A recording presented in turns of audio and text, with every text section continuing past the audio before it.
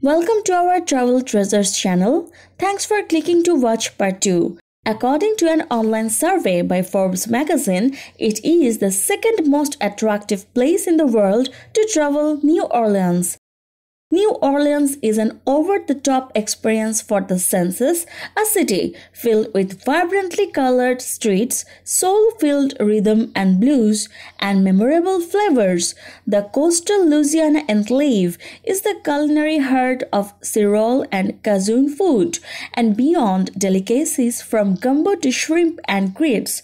It is the city that brought us the muffuletta, beignets, and char-boiled oysters. New Orleans, nicknamed the Big Easy,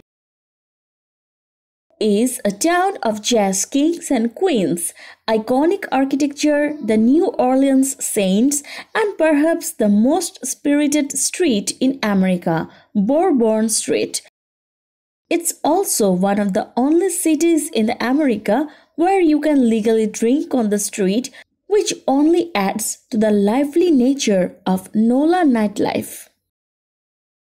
For legendary New Orleans jazz, the best restaurants in New Orleans, and every other must try activity, including tours and the bayou and ghost tours of the city's most haunted streets, consult this guide we have mapped out exactly what to do in New Orleans to experience this renowned city of celebration and resilience. New Orleans travel tips Best months to visit. The best time to visit New Orleans is from February to May when the weather is comfortably cool and the celebrations are in full swing. If you are not interested in Mardi Gras mania, plan to visit in December or January when the city is calm and you don't have to worry about making hotel reservations a year in advance. To save on room rates, travel in the summer or fall. Just note that these seasons are known for their stifling heat and humidity. Not to mention the threat of hurricanes, making travel insurance a worthy investment for those traveling to New Orleans during this time.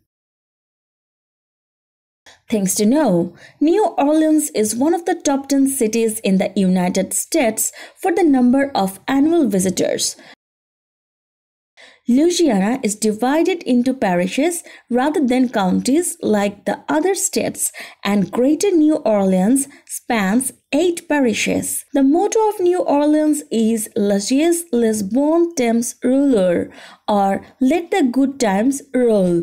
The official cocktail of the New Orleans is the Sazerac, which was created in a French Quarter bar.